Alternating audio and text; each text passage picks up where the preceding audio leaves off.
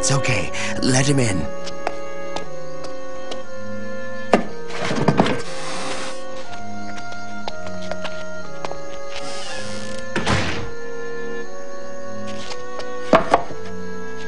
They've blocked the gate to the city so that you cannot leave. I... I have an idea. I know how Paul can escape. Fearing for his life, Paul's friends helped him escape the guarded city by lowering him over the side of the city's wall in a large basket.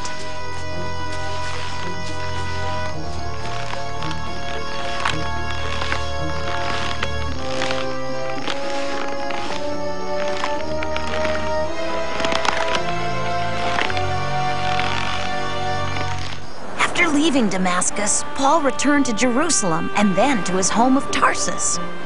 Here he met Barnabas, and together they embarked on Paul's first missionary journey. They sailed across the Mediterranean Sea to Thessalonica, to the town of Lystra.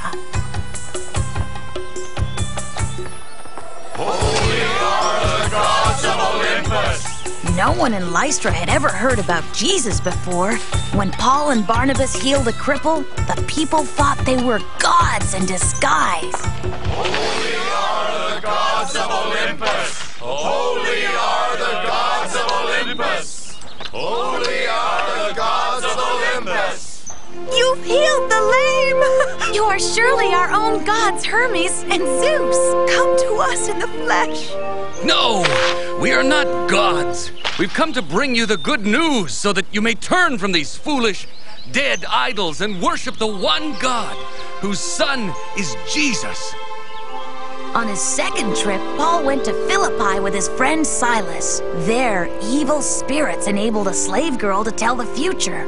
When Paul drove the spirits out of the girl, her masters ordered Paul and Silas to be imprisoned. If these men escape, you shall be held personally responsible.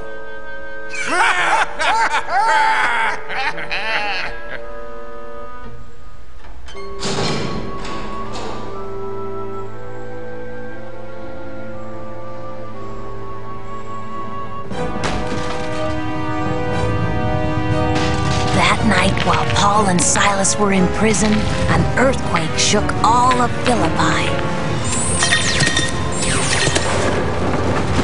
Look, Paul, our locks are undone.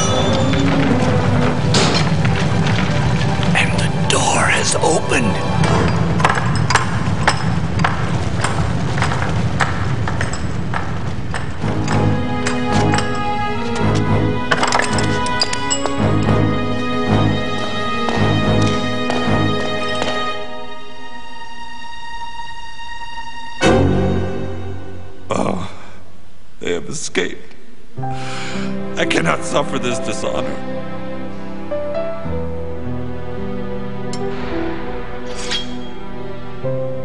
Better to die by my own hand.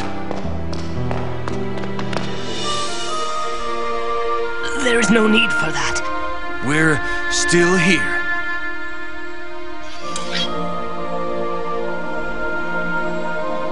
Truly, you are great men.